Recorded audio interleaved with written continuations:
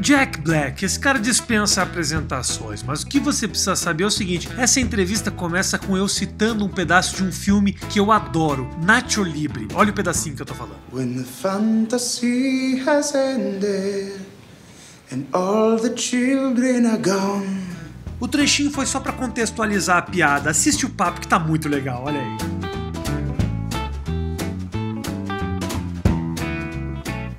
Friend Jack, How are you? I want to sing a song to you. Oh, sing, please. When the fantasy has ended and all the childrens are gone. So uh, that's my favorite. Why do you stop? Oh, Encarnación, Encarnación. When the fantasy has ended and all the children are gone, something good inside me helps me to carry on. I ate some bugs, I ate some grass, I used my hand to wipe my tears, to kiss your mouth, I break my vow. No, no, no, no, no, no, way, Jose, unless you want to then we break our vows together. Encarnación, encarnación,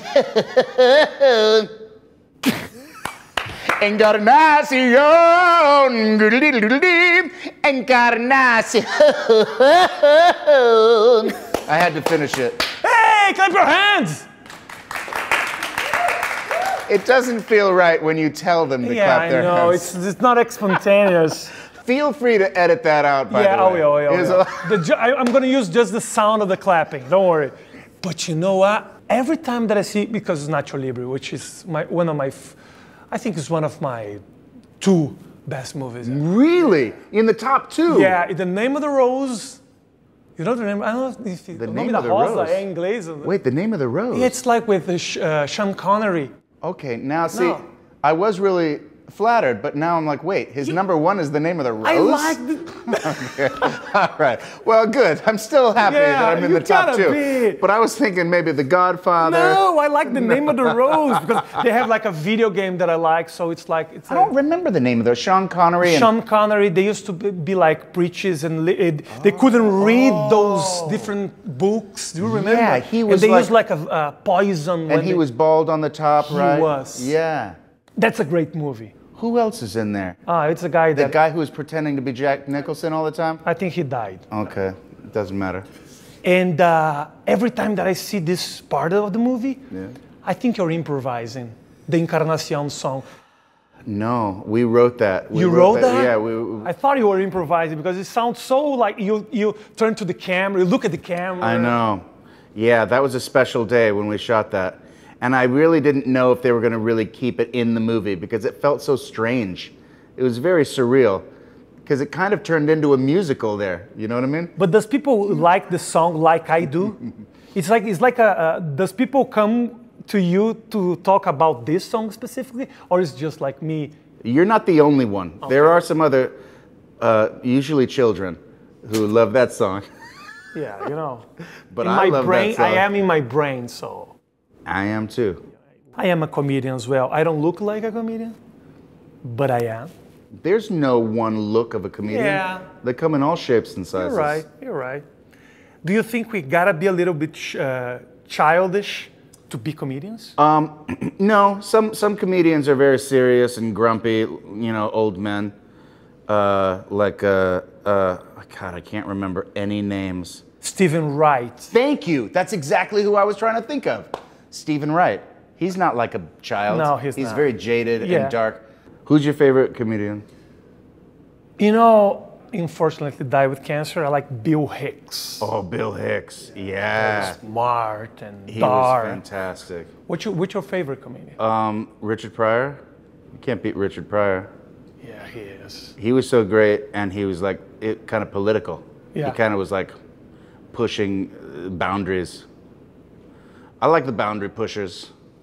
I, li- I really like this guy now, uh, Louis C.K. Yeah, I know. Yeah, he's one of the best. Yeah, I keep on trying to get him in Festival Supreme. You know, I have a comedy festival. You do? In Los Angeles, yeah. It's comedy and music. You know, usually. Is that an invitation? Thank you very much.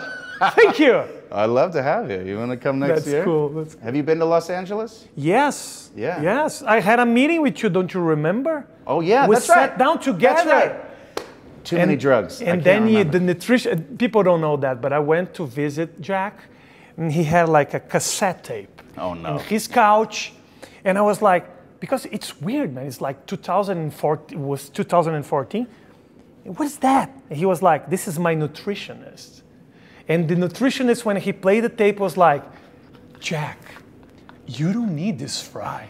And he was like listening to this, Yeah. trying to lose weight. Yeah. Did that work? It did not work. It didn't. Oh, well, it might have worked a little bit. Uh, it was kind of like hypnotism, and uh, he came highly recommended, but he was a little bit crazy. it was just a very funny tape to listen to. I lost it. I wish I still had it, but um, That was Yeah. crazy. no. As you can see, it didn't really work. What makes you laugh, Jack? What makes me laugh? Yeah, it can be the dumbest thing. It can be. You know, I like it when people like reveal uh, a hidden truth, something that's like really uh, uh, obvious and like, uh, and uh, but no one said it before. The be- best comedians always do that. They they uh, they make you go, oh yeah, that is fucking weird. Life, the ones that re- make you realize how strange life is, because we kind of forget how weird this existence is. And the com- great comedians really sort of expose. Did you ever feel pressure to be a little more like political and to touch people's minds and uh, everything else? Is like to be a little deeper, or, or is it? Of course, yeah. I mean, like me and Kyle, I, I have this band Tenacious D, I know, you know, and we uh, we we've written a lot of songs, comedy songs, but uh, a lot of the times we would be like, "Fuck, look at uh, Rage Against the Machine. Look at how amazing they are. They're really important." And we were like, "Fuck that. We want to be important too. Let's write an important song." So we wrote a song called City Hall, and it was all about revolution and taking it to the man and telling the, you know, taking it to the power. And it comes off like a joke, but we've tried to be important. we got a song on the new album called Rise. uh, It's a, the album is Rise of the Phoenix, and uh, there's a song on there called Throw Down. It's all about organized religion. It's a very serious sort of uh, like critique about how dumb religion is But you touch people's in a different way. You touch people's hearts. sometimes. You make them uh, love themselves. That's that's even more important than make people think about politics and stuff. Who knows? Who knows what's important? It's a meaningless universe. That's. I'm gonna kill myself. Okay, Jack. When you when you said you know when you thought I'm going to Brazil, what was the image that you had in your mind? Well, you know, the thing that you think of when you think Brazil, you think uh, you think Rock in Rio. That's what I think. It's like, oh my God, the like five hundred thousand people, just like an undulating mass of pleasure and rock and freedom and just uh, yeah, it just looks like the best party in the world. That's what I think of, and I also think of. Uh, this strange country that speaks Portuguese, and they're surrounded by Spanish Yeah. all around them. It is. It's just a very interesting sort of uh, country that marches to a beat of its own drum. But we can understand each other. If you go to Argentina, it's not going to be a problem. We can we can speak Spanish. It's kind of similar.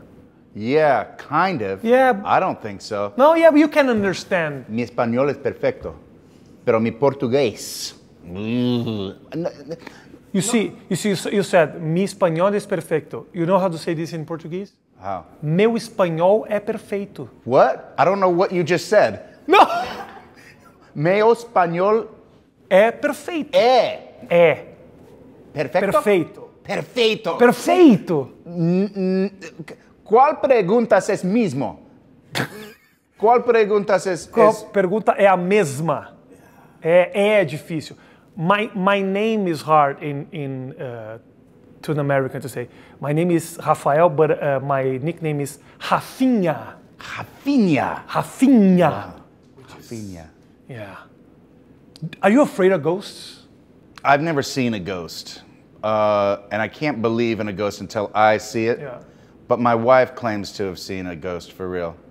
She was walking through a forest with a friend, and uh, they came through this clearing, and they saw a, an old man with a, a like an a 1820s clothing, and a little girl who was also in like the old-fashioned clothes, and uh, they were just standing there, and then they sort of like walked away and disappeared into the into the trees.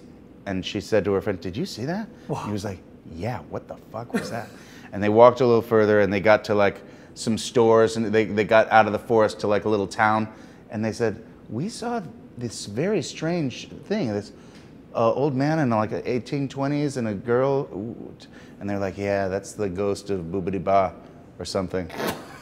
So she's like, ghosts are absolutely real. And I believe that she believes it. Maybe he's just a homeless. That's what I'm saying. It's just a homeless guy who found some old clothes. yeah. Jack, thank you very, very much. Are you kidding me? I'm Thank you. I'm very uh, excited. You gonna arm wrestle? Is that right? Okay. This is it. Okay. Brazil versus the United States.